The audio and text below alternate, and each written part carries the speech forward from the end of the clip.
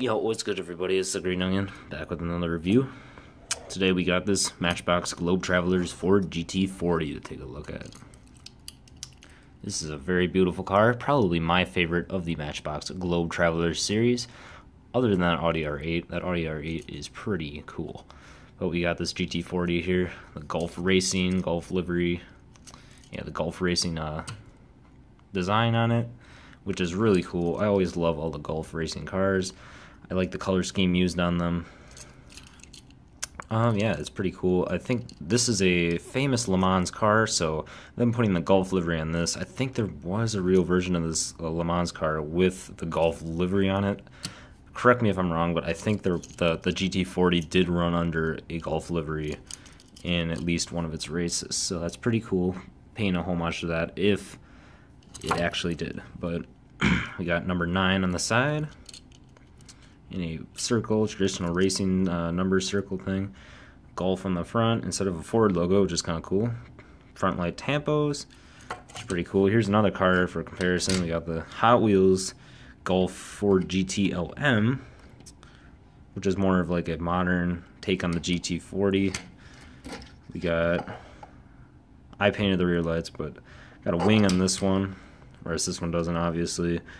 Pretty much the same striping though we got that Gulf logo there, except this one has the Ford logo too, but it kind of broadens out and forms a stripe down the car, which is kind of cool.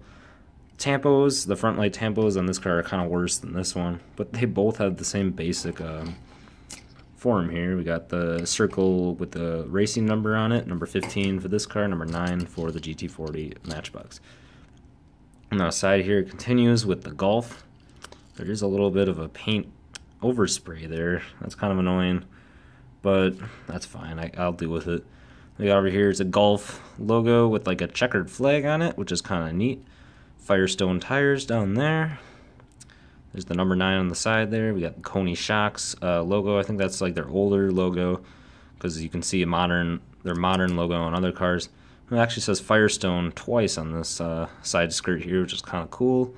And I can't really read what that says. I'm not really sure what that says, but a checkered flag um, logo there. On the back, we always have the Matchbox 65th anniversary logo because we want to know this is from their 65th anniversary. We got the wheels here, which are spot on for this car. Orange wheels. Always love the orange wheels on a Gulf themed car. See, this Hot Wheels one also has orange wheels, or orange rimmed wheels at least. Got the chrome outline and and orange wheels. Couldn't have done that much better. This casting is just so detailed, so beautiful. It's very good. I like all the panel lines on this car. They even went as far as to add like nuts, the individual rivets, nuts and bolts. It got these little uh, hood pins in there. I think those are actually DTL, detailed silver. Wow, I didn't even notice that the first time around until looking at them.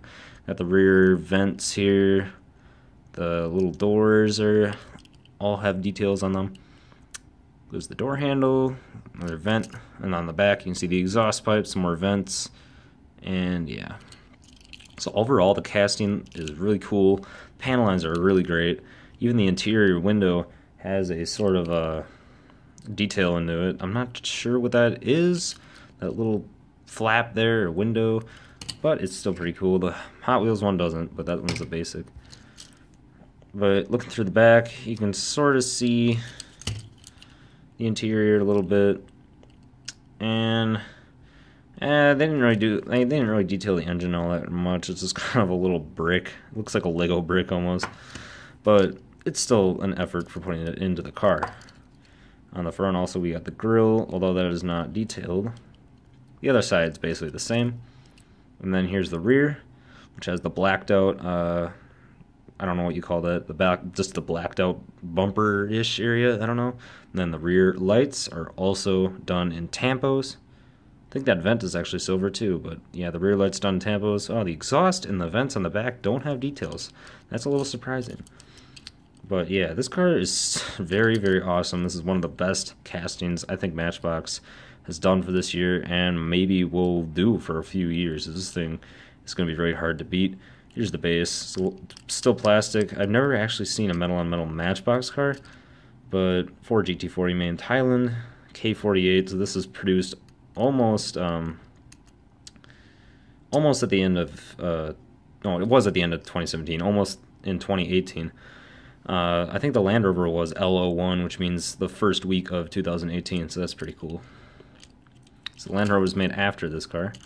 But yeah, here's the Ford GT 40, Ford GT40, sorry, from the Matchbox Globe Travelers series.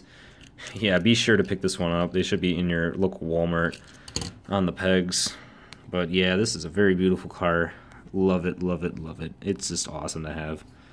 Awesome to hold. I love putting it in my little Gulf uh, gas station diorama by Greenlight. I think I have a video on that too.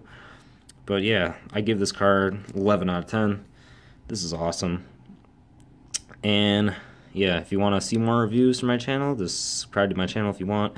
If you don't, that's fine. I don't really care, to be honest. I'm not going to beg anybody for subscribers. But until next time, I'll see you guys later.